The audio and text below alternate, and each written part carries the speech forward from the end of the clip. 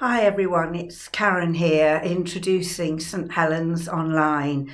It's great that you could join us this week. We're excited as we start looking at the book of Acts together. Fran introduced our new sermon series last week called The Big Church Build. And this week, Al is preaching for us on the theme of building together, the community of believers and we look forward to that. We hope this autumn it will be a really special time of teaching and of learning together. And although we're not specifically asking for more testimonies following our summer series, of course, we're always really pleased when you come and say, Can I give my testimony or tell a story of how God has been at work in my life? So if that's the case for you, do uh, come and let us know. Also, in our service today, Fran will be leading our intercessions and Chloe is reading. So we still ourselves as we begin with an opening prayer. God of love and power, we set this time aside for you Help us to lay aside our concerns and our cares to meet with you, to hear your voice, and to be obedient to the things you're calling us to do in this new season. May we not miss out on the good things that you have for us, both as individuals and as a church. In Jesus Christ our Lord. Amen. And we now continue with worship as we sing our opening song Great is the Lord and most worthy of praise.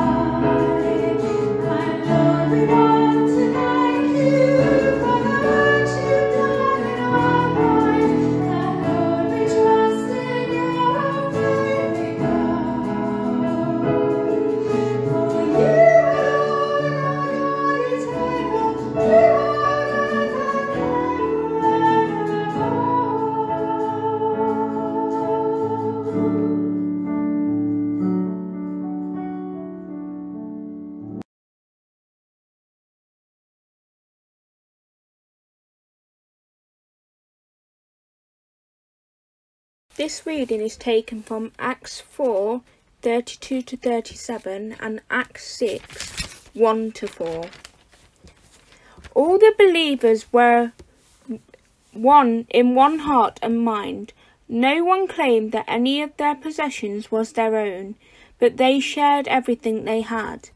With great power, the apostles continued to testify to the resurrection of Lord Jesus, and God's grace was so powerfully at work in them all that there was no needy person among them, for, for from time to time those who owned land or houses sold them, brought the money from the sales, and put, the, put it at the apostles' feet, and it was distributed to anyone who had need for it.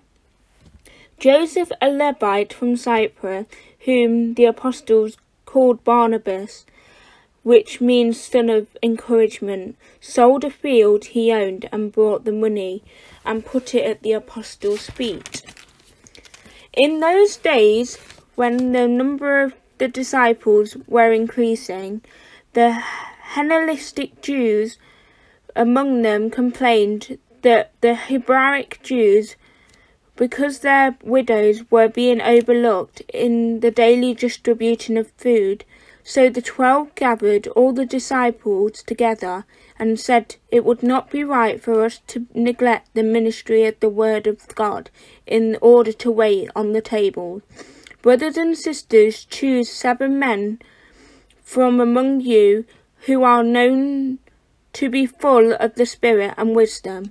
We will turn to this responsibility over to them and give our attention to prayer and ministry of the word. When our children were younger and there was something to be shared out that couldn't be shared out very precisely, so let's say some pieces of fruit that were irregular shapes or a cake that needed to be cut or broken, what we would do is we'd say to one of them, look, you cut it up, and then the second person, the other child, chooses their bit first. And that to me was a really good way of getting them to do it fairly because the person doing the cutting, if they made one piece bigger than the other, then they knew the second person would take the biggest piece. So it did make it fair. Now, it wasn't the best way of promoting sharing, and it certainly wasn't promoting them uh, being generous, because actually it worked equally well if they were both extremely greedy. But it did make it fair. Now, in these two short passages from Acts, we have uh, the story of community of believers. First of all, sharing everything in common with each other, and then in the second part, uh, something where that, that goes wrong slightly, and there's a one group complaining against another group within the, the larger group. Now, when I read the first bit, I, my thought is, how what can I say for ten minutes that's going to make a difference on this passage? Because I know that married couples might have separate bank accounts. I don't. We have shared one with me and my wife, but um, I know some people do, and I'm not going to try and argue against that. And I'm certainly not going to spend 10 minutes trying to persuade you to open a joint account with me and the rest of the church. So, so what can we think about in this time that we have? Uh, well, certainly it can be about generosity, but I think for me, I just want to think first of all about the grace of God, which is mentioned in the first passage, and then integrity both personal integrity within a group and corporate or communal integrity. Now, in chapter 4 of Acts, when it talks about them sharing everything they possess with each other, it says that God's grace was so powerfully at work among them that there were no needy persons among them. God's grace was so powerfully at work. Not just that God was gracious, but that that grace was powerfully at work in them. And there's a story that Jesus tells about a servant who owed a lot to a king, and the king let him off that debt. And yet, immediately, the servant went out, and other people that owed him much lesser amounts, he asked them for the money, and when they couldn't give it to him, then he would have them punished. Now, why did he do that? Well, I don't know. But a guess is that maybe he hadn't spent long enough in the throne room or the presence of the king. He hadn't let it sink in that, that grace that had been shown to him. He hadn't let it sink into his bones. instead, he just sort of rushed out of the presence of the king and gone after his own ends. I can remember uh, when my dad died, and it was very sudden. He had a heart attack, and he died at a friend's house. I wasn't there, but I went shortly afterwards, and uh, when I was there, my overwhelming desire was to say thank you to him. Not that he could hear me necessarily, but that was my desire. I just wanted to say thank you for all that you've done for me. I was just felt incredibly grateful. Now, I hadn't always felt that way about my dad. When I was a teenager, quite frankly, I was fed up with him.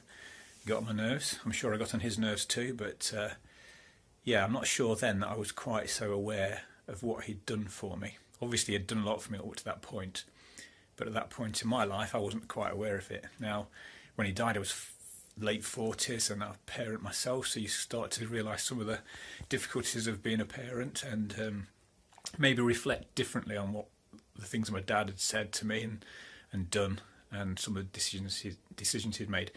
Not that he was a perfect person or a perfect dad, but he'd done what he'd done because he loved me, and I was grateful.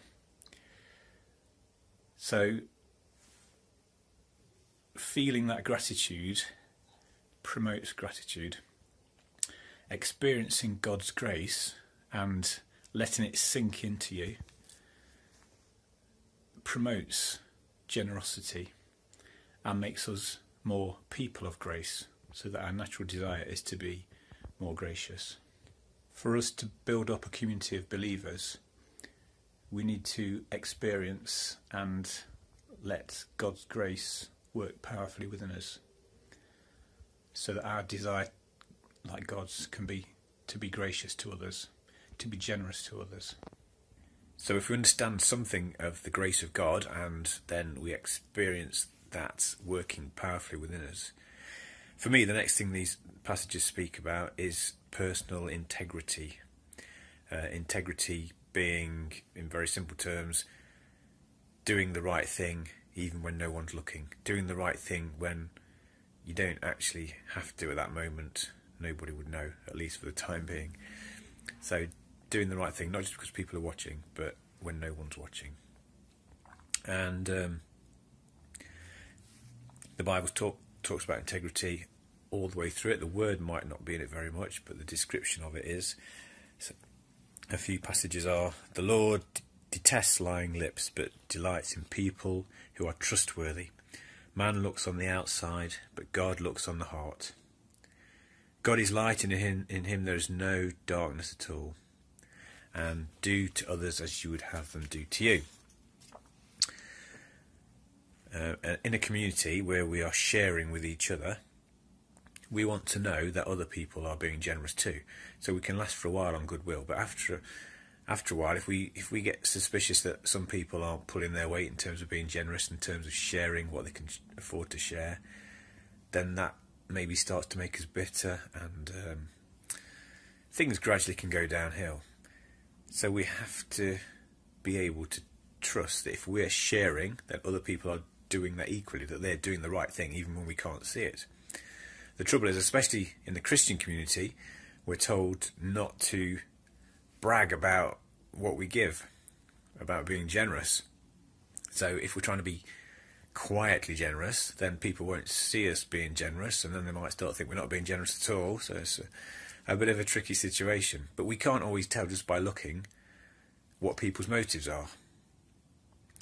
Um, if you see, saw a petrol queue, a, petrol, a queue of cars at a petrol station um, in the last few days or weeks, not long after a, a news article about possible shortages, it's very easy to make a quick judgment about everybody in that queue. But actually, we don't know what each person's motivation is. There may be some people in the queue with just a few miles of petrol left in the car who have to get to work the next morning, and they're worried about that. There may be other people in the queue who have three quarters of a tank, and actually that would last them the week and maybe a bit longer, but they decide to fill up anyway because they can. There's no law against it, so why shouldn't they? So people have different motivations, and we can't always see what those motivations are. But for us as Christians, to build up our Christian community, the community of believers, we have to not just think about ourselves, but think about other people and how our actions impact upon those. Not just in terms of sharing, giving money and that kind of thing, but it may be sharing other things that we have, um, time, or particular talents that we have, or just conversations or smiles with people. Um, thinking about how we can contribute to this group and how we can contribute sometimes in ways where people won't even see that contribution, but we do it anyway because it's the right thing to do. Now, over time, problems will arise within communities. Um, in Acts 6, we hear about the Greek Jews complaining that the widows are overlooked, complaining to the Hebraic Jews. So, within the same community but from different backgrounds, one group was complaining about the actions of another. Um, and it was, at some point, brought out into the open, and then a plan was put in place to deal with it. Now, we all make mistakes. Mistakes, okay? I knew a person who used to say quite a lot, you only stub your toe when you're moving. And I like that phrase because I know that for me, I sometimes get a little bit irritated when I see something that needs doing, so I'll start to do it. But then when I start to do it, if it's something I've not done before, I'll make mistakes. And then instead of people saying, oh, thanks for taking that on, you get people complaining because you've made the mistakes. Not that I'm bitter or anything, but um, we only stub our toe when we're moving. It's better to move and to stub your toe than to sit and not do anything and take no action.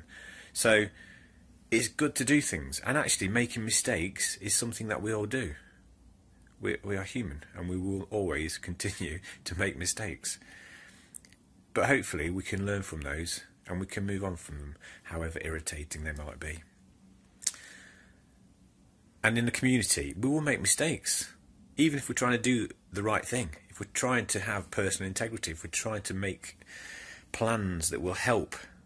Sometimes, just by oversight or not quite thinking things through or whatever it may be, things will happen that aren't good.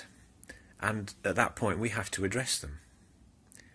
And of course, on a worse case scenario, there are times, of course, when people abuse their power or their position to abuse other people. And again, it must be brought out into the open. We must never ever think we need to hide it to save face. That's not integrity. That's not of God. God is light, and in Him there is no darkness at all. So let's think on God's grace. Let's think on what He's done for us already let's try and think of things that we haven't thought of that he's done for us because there will be lots of those things as well. And then with that in our minds and our hearts, let's do our best to be generous, to be people of integrity, to be people who do the right thing when there's no immediate need to, when there's nobody watching us, but we do the right thing anyway. Let's move, let's do things, let's stub our toes in the process and hopefully learn from it. And where there are mistakes, let's bring them out into the open, whether it's ours or somebody else's, in a way that we can deal with them gently and learn from them and move on. And let's try and build each other up as we do all of these things.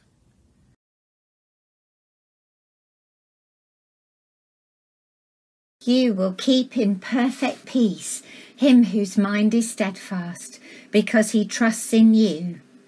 Trust in the Lord forever, for the Lord is the rock eternal. As we think today of our community, living and working together, building up after the pandemic, imitating the early disciples in prayer, worship, and teaching, we pray for some specific areas of pastoral need. Today is Safeguarding Sunday, when we remember the vital work of safeguarding the vulnerable in our churches, giving thanks for all those who work to make churches safer for all. We thank you, Lord, for Angela, our safeguarding lead. Give her strength and energy in this vital role. And a special prayer for this Sunday. Loving Father God, we come to you in the knowledge that you hold all your children in unconditional love. We lift to you those who are vulnerable and in need of protection. Give them your safety, comfort, and peace. We cry to you for those who are hurting and whose trust has been broken. Give them your healing, restoration, and justice. We bring to you those who seek to forgive others who have hurt them. Give them your strength, courage, and hope. For those who by their actions or attitudes have caused hurt and harm to others, lead them to seek your forgiveness and to enter into true repentance. Thank you for all who give their time, knowledge, and skills to make our communities safer. Give them your wisdom, guidance, and grace. For ourselves, we ask you to give us your heart for the vulnerable, the oppressed, the voiceless, and the forgotten. Help us to see them as you see them, to value them as you value them, and to nurture and protect them as you desire. Help each one of us play our part in creating safer places for all your people. In your name we pray. Amen.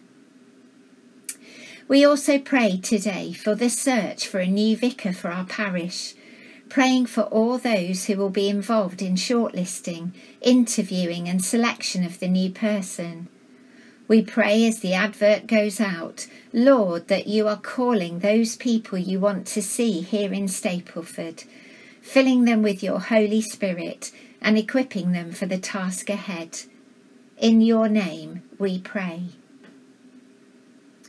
We pray for individuals struggling at the moment from our church family, those who are unwell or sad or lonely, for those struggling with the after effects of the coronavirus, and for those struggling with long term conditions.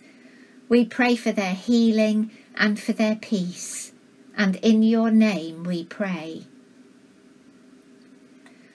We also pray today for our world, for the suffering, the pain, and the inequalities that are in the wonderful world which you, Lord, have made.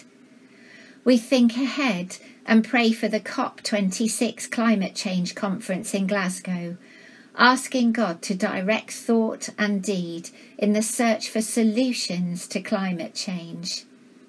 God of life, we praise you for the beauty of creation its richness and variety. We're sorry when we misuse it and squander its resources. Make us more like Jesus, treading gently on your common home, and breathe your spirit on us, that we may care more deeply for your earth and for each other. We ask this through Jesus Christ our Lord. Amen. You will keep in perfect peace him whose mind is steadfast because he trusts in you. Trust in the Lord forever, for the Lord is the rock eternal. Amen. So I'd like to thank everyone today who's taken part in our worship and especially Al for your message. I wonder, a challenge. Can you all think of one thing that you will take away with you and try and put into practice? From Al's message to us. And now, an advance notice, something to get in your diaries or on your calendar. Uh, really good news that we will have a Christmas edition of Inspire, our great community newspaper. And so that it gets into the homes of everyone in our parish, we do need some help from you. Could you spare just one hour to be a distributor during the last week in November? It just takes an hour or so of your time for this magazine to get into the hands through the letterboxes of those who would like to read about our church activities and to make a connection with them. So if you can help, please contact Steve via the church office. Also, we just need a, a, team of 10 people, so no need to all shout at once on that. But on the morning of Friday, the 19th of November, we're going to have that team of sorters and bundlers. And uh, if you can help with that, again, contact either Steve or myself to let us know. And we're also asking that everyone, in particular at this time, holds the whole process of selecting our new vicar very much in their prayers as the adverts have now gone out.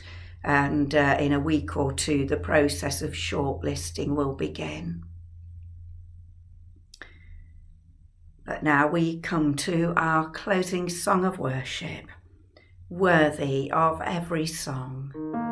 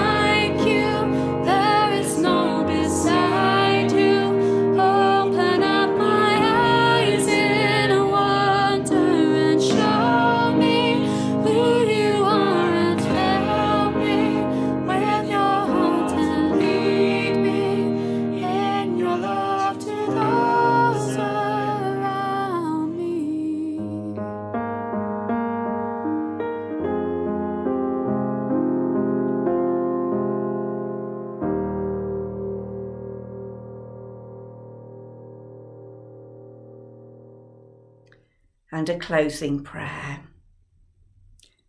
Lord, would you send us out into your world to love and to serve our neighbours and to look out for all who are in need. Build us up as your church here in Stapleford. And may the blessing of God Almighty, the Father, the Son, and the Holy Spirit be with each one of you those whom you love and those for whom you pray, this day and always. Amen. Go in peace to love and to serve the Lord. In the name of Christ. Amen.